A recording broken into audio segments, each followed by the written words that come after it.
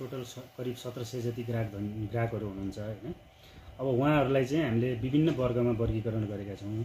त्यसमा चाहिँ अब सरकारी कार्यालयहरूलाई चाहिँ अब गैर व्यापारिकमा वर्गीकरण गरिएको छ भने करिब अस्सीदेखि नब्बे घरधुरीहरूलाई चाहिँ स मेजरली यो सल्लेरी बजार क्षेत्रका व्यापार व्यवसाय गर्नेहरूलाई चाहिँ व्यापारिक वर्गमा चाहिँ वर्गीकरण गरिएको छ भने बाँकी चौध पन्ध्र सय जति घर धनीहरूलाई चाहिँ ग्रास्त ग्रास्त वर्गमा चाहिँ वर्गीकरण गरिएको छ र हाम्रो भर्खरै नयाँ विद्युत महसुल लागू भएको छ जस जुन चाहिँ हामीले विद्युत प्राधिकरणलाई नै आधार मानेर बनाएका थियौँ।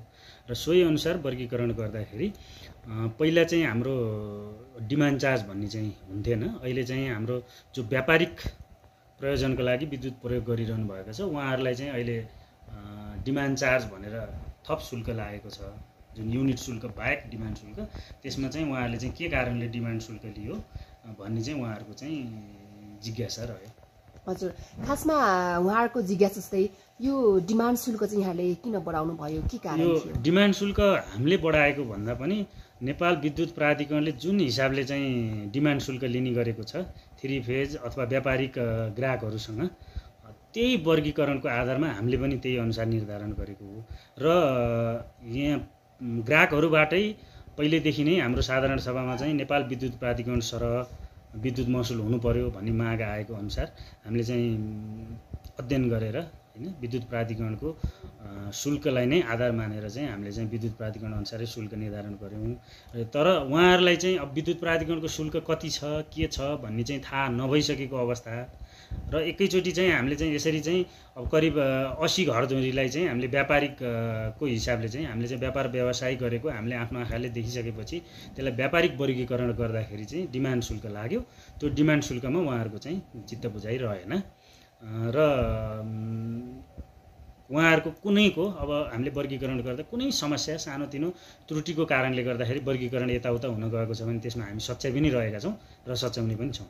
यस्तो यहाँले वर्गीकरणको क्रममा पनि केही कमजोरी गर्नुभयो?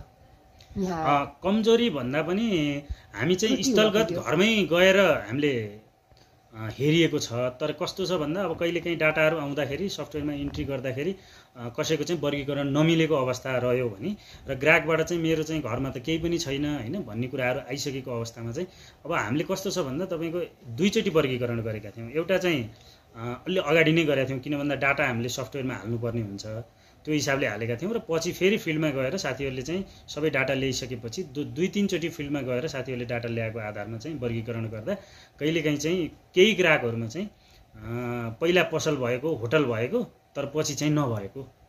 होइन कोही चाहिँ अब पहिला राम्रै होटल चलिरहेको होटल चलि राम्रै होटल थियो तर पछि बन्द भएको। त्यस्तो अवस्था चाहिँ पछिल्लो चरणमा देखिएपछि त्यस्तोमा चाहिँ त्रुटिहरू देखियो र केही चाहिँ अब पसलको नि सानोतिनो वर्गीकरणको हिसाबले चाहिँ हामीले चाहिँ केही त्रुटि भेटिएको त्रुटिहरू सच्याए पनि छौँ र अब पनि कुनै अब समस्याहरू त्यस्तो रहेछ भने हामी सच्याउने छौँ। तर सामान्य अहिलेसम्म हामीले धेरै पटक हेरेर गरेका छौँ। त्यति धेरै समस्या छ जस्तो मलाई लाग्दैन। अनि अब सेवाग्राहीमा पनि व्यापारिक वर्गका सेवाग्राहीहरू जो साठी सत्तरीजनासम्मको हुनुहुन्थ्यो उहाँहरू होइन उहाँहरूको चाहिँ चित्त दुखाइ चाहिँ डिमान्ड शुल्क चाहिँ किन लियो भन्ने थियो। उहाँहरूको भनाइ चाहिँ अब त्यो डिमान्ड शुल्क चाहिँ लिनु भएन। हामीलाई पनि ग्रास्त वर्गमै राखिनु पर्यो। डिमान्ड शुल्क लिनु भएन। सबैलाई चाहिँ समान गर्नु पर्यो। अ, त्यो नगरिन्जेल चाहिँ उहाँहरूले चाहिँ अब विद्युत महसुल पनि तिर्दैनौँ अब जरिमाना पनि तिर्दैनौँ भन्ने कुराहरू चाहिँ राख्नु भएको छ। मेरो भनाइ चाहिँ अब हामीले चाहिँ नेपाल विद्युत प्राधिकरण अनुसारै गरे हो होइन? भनिसकेपछि उहाँहरूले ठिक छ त्यसो भए अब मैले चाहिँ यो कुरा चाहिँ सञ्चालक समितिमा पेस गर्छु। अब भोलि जे निर्णय हुन्छ त्यो निर्णय चाहिँ म तपाईँहरूलाई जानकारी गराउनेछु। उहाँहरूले भनेको अनुसार हुन पनि सक्छ नहुन पनि सक्छ। यो सिङ्गल ग्रास्त भने ग्रास्त वर्गमा चाहिँ दुईवटा क्याटेगोरी हुन्छ। एउटा चाहिँ सिङ्गल फेज ग्राहक हुन्छ एउटा थ्री फेज ग्राहक हुन्छ। ग्रास्त भनेको तपाईँको जसले चाहिँ ग्रास्त बसोबास गर्नको लागि चाहिँ विद्युत खपत गर्छ। त्यो जुन घरमा चाहिँ तपाईँको बसोबास गर्नको लागि मात्रै बिजुलीको प्रयोग हुन्छ त्यसलाई चाहिँ हामी ग्रास्त वर्गमा राख्छौँ। यसमा चाहिँ सिङ्गल फेजमा चाहिँ तिनवटा ग्रास्त वर्ग छ। एउटा पाँच एम्पियर पन्ध्र एम्पियर र तिस एम्पियर भने थ्री फेजमा चाहिँ यो दुईवटा क्याटेगोरी छ एउटा दस केबिएसम्म भन्ने छ एउटा दस केबिएभन्दा माथि छ। अब सिङ्गल फेजमा चाहिँ विभिन्न युनिट अनुसार आफ्नै शुल्क छ जुन शुल्क म तपाईँलाई प्रोभाइड गरौँला। त्यस्तै गरी थ्री फेजमा चाहिँ तपाईँको दुईवटा क्याटेगोरी छ जस्तै दस केबिएसम्मको ग्राहकलाई चाहिँ एघार सु एघार सय रुपियाँ न्यूनतम शुल्क लाग्छ भने एघार रुपियाँ प्रति युनिट लाग्छ र दस केबिएभन्दा माथि का ग्राहकहरू थ्री फेज ग्राहक जो ग्रास्तमा हुनुहुन्छ। घरका लागि मात्रै प्रयोग गर्नुहुन्छ? जसले अन्य प्रयोजनको लागि प्रयोग गर्नुहुन्न। उहाँको लागि चाहिँ अठार सय रुपियाँ न्यूनतम शुल्क लाग्छ भने एघार रुपियाँ युनिट लाग्छ। अब रह्यो डिमान्ड चार्ज कस्ता ग्राहकलाई लाग्छ त भन्दा डिमान्ड चार्ज चाहिँ हाम्रो विभिन्न ग्राहकहरू हुनुहुन्छ जस्तै औद्योगिक ग्राहकहरू हुनुहुन्छ व्यापारिक ग्राहकहरू हुनुहुन्छ गैर व्यापारिक ग्राहक हुनुहुन्छ सिँचाइको लागि प्रयोग गर्ने खानेपानी यातायात धार्मिक तथा आध्यात्मिक स्थल सडक बत्ती अस्थायी कनेक्सन होइन गैर ग्राहस्थ यस्ता ग्राहकहरूलाई चाहिँ डिमान्ड शुल्क लाग्छ।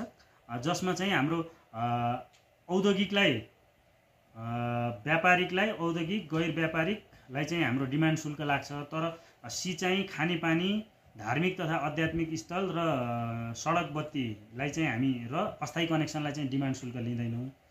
भने अब रह्यो औद्योगिक व्यापारिक र गैर व्यापारिक। उहाँहरूलाई चाहिँ युनिट शुल्क पनि लाग्छ। इनर्जी खपत गारे गरेको बापतको शुल्क पनि लाग्छ। साथसाथै उहाँहरूले जति डिमान्ड लिनुहुन्छ जस्तै आठ केबिए लिनुहोला दस केबिए लिनुहोला होइन पन्ध्र केबिए लिनुहोला बिस केबिए लिनुहोला त्यसको चाहिँ उहाँहरूलाई चाहिँ पर केबिए पर मन्थ आफ्नो क्याटेगोरी अनुसार शुल्क लाग्छ। त्यो शुल्क उहाँहरूले तिर्नुपर्छ। आज जो यहाँ आउनुभयो जसले चाहिँ आफ्नो जिज्ञासाहरू राख्नुभयो उहाँहरूको पनि के छ भन्दा हामी व्यापारिक भयौँ कसरी भयौँ र हामीलाई चाहिँ डिमान्ड चार्ज किन लियो भन्ने कुरा छ। अब नेपाल सरकार नेपाल विद्युत प्राधिकरणले नै बनाएको शुल्कको आधारमा उहाँहरूलाई हामीले यो शुल्क लिएका हौँ। हामीले आफ्नो हिसाबले शुल्क चाहिँ बनाएका छैनौँ।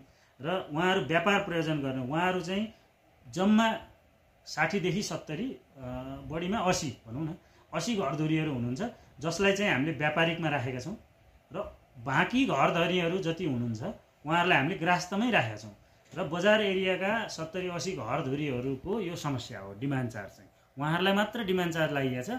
बाँकी ग्रास्तहरूलाई चाहिँ हामीले डिमान्ड चार्ज लिएका छैनौँ। उहाँहरू चाहिँ कतिजनाहरू चाहिँ विद्युत महसुल यसपालि सस्तो भयो भनेर उहाँहरू जानुभएको पनि छ आएर भने जो व्यापारिक प्रयोजनको लागि राखिएको छ उहाँहरूको चाहिँ डिमान्ड चार्जले गर्दा महँगो भयो भनेर उहाँहरूले गुनासो राख्नुभयो डिमान्ड चार्ज चाहिँ तिर्नै पर्ने यो डिमान्ड चार्ज चाहिँ उहाँहरूले बत्ती जोडिसकेपछि जसले व्यापारिक प्रयोजनको लागि चाहिँ विद्युत प्रयोग गर्नुहुन्छ उहाँहरूले बत्ती जोडिसकेपछि डिमान्ड चार्ज चाहिँ तिर्नै पर्छ। बाहिरले पनि एक युनिट बाल्नुहोस् या नबाल्नुहोस् घर बन्द गर्नुहोस्। अब जेनरली व्यापार व्यवसाय गर्ने मान्छेहरूको घर त बन्द हुँदैन चलिरहन्छ नै होइन? अफिसहरू उनीहरूको चलिरहन्छ नै। तर के छ भन्दाखेरि डिमान्ड चार्ज चाहिँ उहाँहरूले तिर्नुपर्छ। पहिला चाहिँ हामीले एघार केबी ग्राहकहरूलाई मात्र लिन्थ्यौँ। अहिले चाहिँ अब थ्री फेज ग्राहकहरू र सिङ्गल फेज ग्राहकहरूमा पनि जसले व्यापार प्रयोजनको लागि बिजुली प्रयोग गर्नुहुन्छ उहाँहरूलाई चाहिँ डिमान्ड शुल्क लाग्छ। मैले अर्को कुरा चाहिँ म के भन्न चाहन्छु भन्दा अब यसपालि विद्युत प्राधिकरणकै नियमअनुसार हामीले चाहिँ यो छुटको पनि व्यवस्था गरेका छौँ। जस्तै मिटर रिडिङ भएको अथवा बिलिङ भएको भनौँ हाम्रो जेनरली बिलिङ भनेको छब्बिस गतेदेखि लास्ट एकतिस गतेसम्म हामी गर्ने गर्छौँ। त्यो हामीले भोलि चाहिँ अब बिस्तारै हामी सूचना पनि जारी गर्दैछौँ। कुन एरियाको बिलिङ चाहिँ हामी कहिले गर्छौँ अथवा मिटर रिडिङ कहिले गर्छौँ भनेर हामी सूचना पनि निकाल्छौँ। जेनरली हामी छब्बिसदेखि लास्टसम्म गर्छौँ। त्यसको सात दिनभित्र कुनै पनि घरको मिटर रिडिङ भएको अथवा बिलिङ भएको सात दिनभित्र आएर शुल्क बुझाउनु भयो भने दुई पर्सेन्ट चाहिँ छुट दिन्छौँ हामी। भने पन्ध्र दिनपछि चाहिँ पाँच पर्सेन्ट फाइन लाग्छ। पन्ध्रदेखि तिस दिनसम्म चाहिँ पाँच पर्सेन्ट फाइन लाग्छ। एकतिसदेखि चालिस दिनसम्म दस पर्सेन्ट फाइन लाग्छ र चालिस दिनभन्दा माथि नाग्यो भने त्यसमा चाहिँ पच्चिस पर्सेन्ट फाइन लाग्छ र यो हाम्रो पनि नियम हो र यो नेपाल विद्युत प्राधिकरणले पनि यही नियम छ। यो लागू भइसक्यो सर? लागू भइसक्यो यो असोज महिनाबाट? असोज महिना होइन भदौ महिनाबाटै हाम्रो यो लागू भइसक्यो। र कतिजनाले चाहिँ छुट पनि लिएर गइसक्नुभयो।